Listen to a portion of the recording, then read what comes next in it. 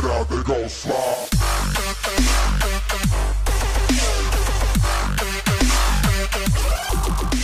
This is uh, just about the stupidest fucking thing I think I've ever seen. Uh, I'm making a second video today, tonight anyway, because I saw it, especially because I saw it, because this is a level of stupidity that I don't normally encounter.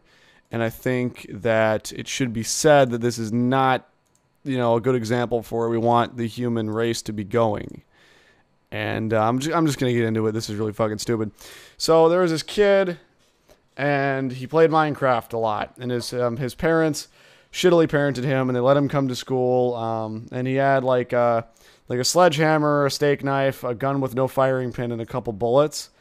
And he actually didn't show that around anyone. He the news the news report claims that he did though. And basically, they did an interview with his dad, and his dad said in his his southern accent. Well, you know, he liked to play video games. You know, he played Minecraft, you know, every day for about an hour. And uh, you know, all those games, you know, they're going out because you know, just because I was inattentive and I set him in front of the Xbox instead of actually parenting him, and just because I showed him a lot of violent media and all that, you know, it's got to be the harmless video games' fault. You know, it's uh, my, you know, my nine-year-olds aren't stupid. Uh, you know, this is clearly because of the video games. You know, it's not just because he's barely into, you know, his uh, conventional morality. It's not because he's barely, you know, in the third stage of Piaget's theories of development. Uh, you know, it's not that his prefrontal cortex isn't attached even in, in his brain yet, and that the pruning process in his brain hasn't even begun, so his judgment is poor. It's those evil fucking video games. You know, it's not not because the brain is underdeveloped. It's not because he still has to learn. It's not because he's immature. It's the fucking video games that done it. Children are just tiny adults with fully functioning adult brains with properly pruned neural pathways and properly functioned sections of the entire brain. And God fucking damn it, if I hear one more word about children not being able to make good decisions for themselves, then I'm gonna fuck someone's ass up. I swear to God. I mean, when I was nine years old, I was already raising a family and going to the junior college in Arlen, Texas. God fucking damn it.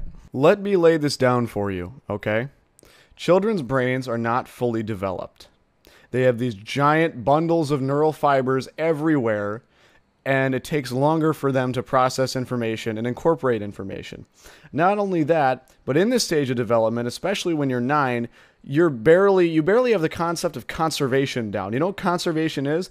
That's knowing that if I take you know if I have two stacks of quarters and I spread one stack out, knowing that it's still the same amount of quarters. Pouring, uh, you know, two equal sized glasses of juices and putting one into a bigger, con- like a taller container, knowing that that's still the same amount of juice. Nine year olds are barely able to reason in ways, you know, saying that, you know, if I do this, it will help me.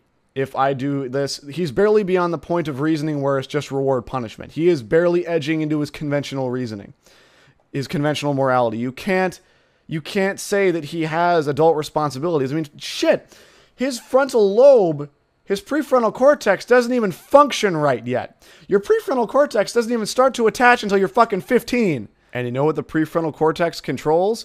Impulse control, inhibition, judgment, and long term planning. All the things it takes to stop you from bringing a sledgehammer and an unloaded gun to school. He doesn't have that yet. You can't pin all this shit on video games. You have to pin it on biology. There are stages of development that human beings go through. And the more we educate ourselves about that, the more we know about psychology and mental illness, the less we're going to blame video games for stupid shit like this. Kids do stupid things. We can't give them adult consequences when they do stupid things. It's not necessarily his fault. That's why a 17 year old who does things like this is mentally ill, but it's kind of okay for a 9 year old to do it. You are punishing him for something over which he barely had any control. I am sick and tired of fucking children getting punished like adults for this zero tolerance bullshit. There should be some level of fucking tolerance if no one gets hurt. You know why there should be? Because children don't have any fucking impulse control. You can't blame somebody who is incapable of inhibiting that sort of thing for doing something that requires the power to inhibit something. That's like saying you should punish glass that is not bulletproof for not being bulletproof. The glass can't fucking help it. The glass has to mature more and develop more before it's bulletproof. Shit, I mean, I couldn't inhibit myself from doing stupid things even a little bit. I didn't have that little twinge before I did something stupid until I was probably 13 or 14. Jesus Christ, that kid's got five years to go before he's even responsible for things like this. Should there be some sort of consequence to tell him not to do it again? Yes, because he has the concept of pre-conventional and conventional morality. He will learn based on reward punishment and he will learn that this is not good for him. Should we take away all of his fucking video games and leave a felony on his record for seven fucking years? No, that's ridiculous. Bottom line, kids are stupid. Their brains are not developed enough to know that, to know better. Video games are an easy scapegoat, but we need to stop looking at that. We need to admit to ourselves as a culture that children do not have adult brains and therefore should not be given adult responsibility and adult consequences. They don't even understand some of the things for which they're being punished in a lot of cases. And if you are a child and you're trying to defend yourself, stop. It's biological. You can feel that way, but your brain is not that way yet. In five years, your brain will be like that, but right now it isn't. And you shouldn't be forced to accept a consequence of, you know, a 25 year old when you're nine years old, because a 25 year old's brain is almost fully developed, whereas a nine year old's brain has been on the planet for nine years, less than half as long. We have to take that into account in cases like this. We need to examine biology and psychology and fucking the possibility of mental illness more than we need to examine what culture is doing. Because the real culprit here is the fucking brain.